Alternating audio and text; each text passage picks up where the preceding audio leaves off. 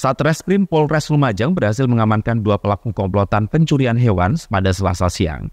Satu pelaku dilumpuhkan dengan timah panas, sementara satu pelaku lain kini masih DPO.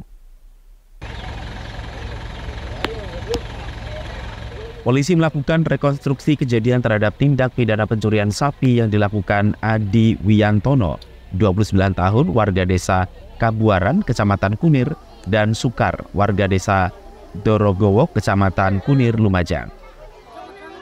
Lokasi pencurian hewan ini berada di rumah korban bernama Subiro di desa Dorogowo yang dekat dengan rumah pelaku, sehingga proses rekonstruksi ini mengundang banyak perhatian masyarakat setempat.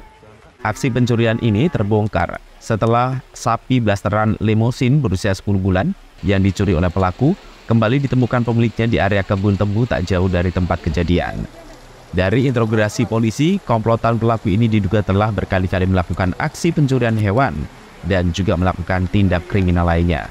Polisi juga masih memburu satu pelaku yang hingga kini masih melarikan diri. Dari beberapa laporan yang ada, memang ini beberapa TKP yang dilakukan, baik itu tidak hanya di curi hewan, tapi juga beberapa di pencurian kendaraan bermotor.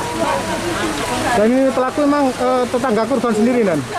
Dari informasi seperti itu, bahkan tadi masyarakat yang ada di seputaran TKP banyak yang mengenali dari e, salah satu pelaku.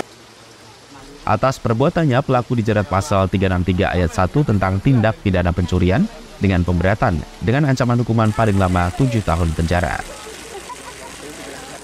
Yonggi Nugroho, CTV.